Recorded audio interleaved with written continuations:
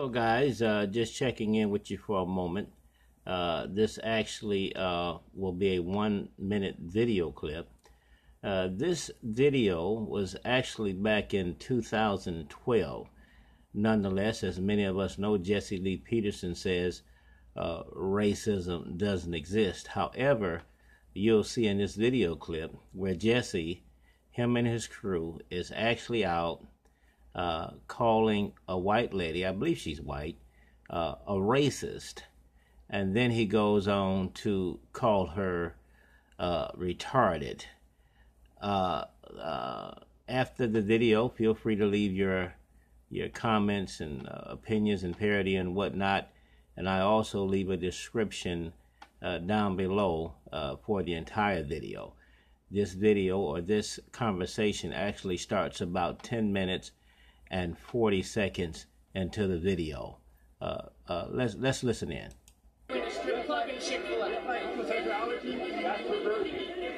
So it's whatever's perverted can't relocate. It can't can't locate anywhere they want. But whatever isn't perverted can. Normal people.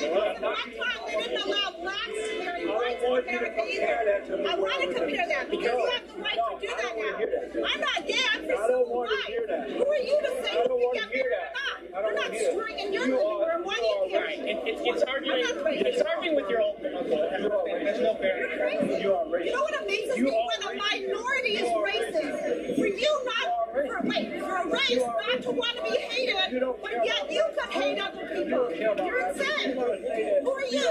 You're a hypocrite. You don't want people to be racist of you, but yet you can be racist of other people. You're a- retarded. Are you using the word retarded? You sound You are retarded. You're an idiot. You're retarded. Get out. You're an idiot. I'm just thank you for being out You're here. an idiot. Go away. We're filled with Go away. You're an idiot. Why?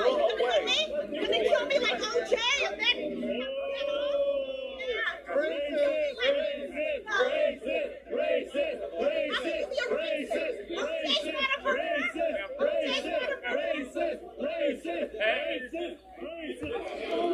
Well, guys, I'm going to end the video right there. I'll leave a description in the link below. Talk with you guys later. Have a blessed day.